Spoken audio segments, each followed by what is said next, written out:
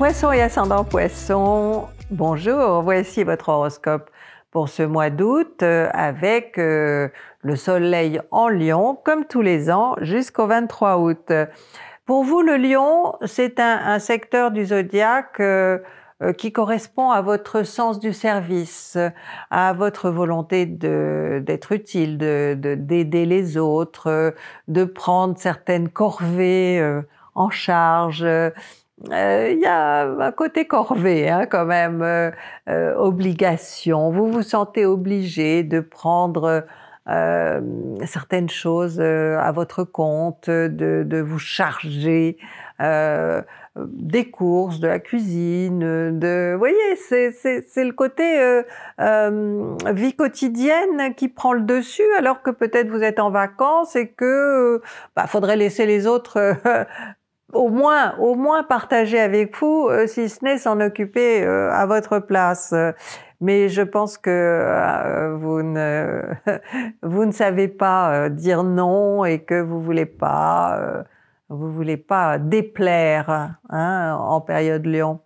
Après le 23, eh bien le premier décan va être un petit peu contrarié par l'arrivée du Soleil en Vierge opposé à Saturne vous avez un problème qui est lié à la peur de, de perdre quelqu'un, de perdre votre situation, de perdre de l'argent. Hein, avec Saturne, il y a toujours une peur quelque part, donc elle va se reproduire.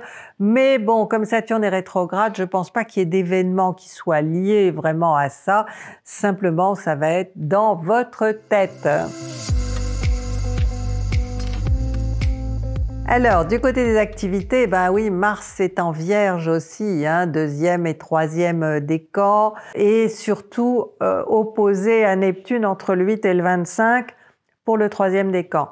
Euh, on, est là face à une situation un petit peu difficile parce que soit vous êtes face à quelqu'un qui est pas très gentil avec vous, qui joue sur vos incertitudes, sur votre difficulté à, vous positionner, à, prendre des décisions, euh, euh, ou alors c'est vous qui êtes dans dans cette incertitude par rapport à quelqu'un euh, qui vous demandait si vous n'allez pas devoir euh, quitter cette personne ou, en tout cas faire quelque chose pour que il ou elle ne dépende plus de vous ou ne vous manipule plus ou vous voyez on peut être dans plusieurs cas de figure avec ce Neptune qui est chez vous hein, troisième décan et qui se trouve donc opposé à Mars. Mars, c'est la planète de l'action quand même. Et, donc, alors, bon, je sais que c'est très cérébral tout ce qui se passe en Vierge.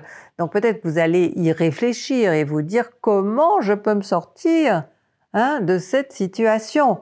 Là, je m'adresse vraiment au, troisième décan hein, uniquement, parce que les autres, ils sont déjà passés par là et fort heureusement, c'est terminé. Et encore, c'est pas tout le troisième décan, hein, c'est la deuxième partie. En, en conséquence, euh, bon, Qu'est-ce que je peux vous conseiller si ce n'est de continuer à réfléchir et de d'essayer de, réfléchir avec quelqu'un qui peut vous aider, qui peut vous donner des conseils, euh, euh, quelqu'un en qui vous avez toute confiance. Côté cœur, c'est le même sujet à mon avis. Euh, Vénus est toujours en Lion, elle va y être jusqu'au mois d'octobre et bon, elle va être rétrograde du troisième décan qu'elle va quitter aux alentours du 14 pour euh, rejoindre le deuxième décan.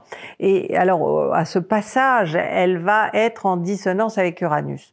Bon, Uranus est en bon aspect avec vous, et bon, Vénus en lion, je vous ai dit, hein, c'est votre secteur des, tâches, euh, euh, de, tout ce que des petites contraintes, mais c'est aussi un secteur euh, de réflexion, de comment dire, d'analyse et de synthèse.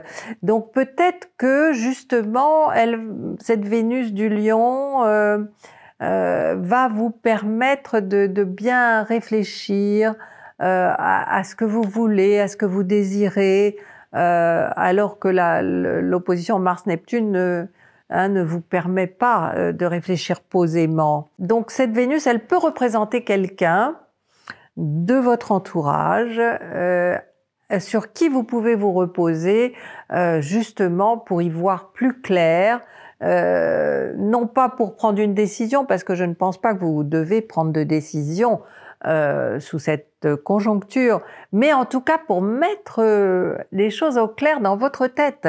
Parce qu'avant de prendre, quelle que soit la décision que vous voulez prendre, quel que soit le domaine concerné, etc., il faut que les choses soient claires dans votre tête.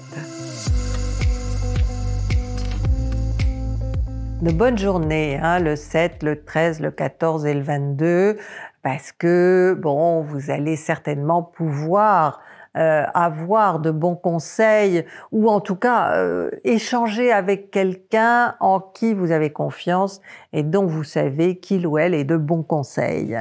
Si vous avez apprécié cette vidéo, vous la likez, vous vous abonnez et puis bon, n'oubliez pas nos rendez-vous du mardi soir. Euh, non, il n'y en a pas au mois d'août. Le site c'est l'astro.com pour plus d'astrologie, nos réseaux sociaux pour des petits posts quotidiens et les consultations. Oui, on continue à en donner au mois d'août, Zoé et moi. Je vous souhaite un très bon mois.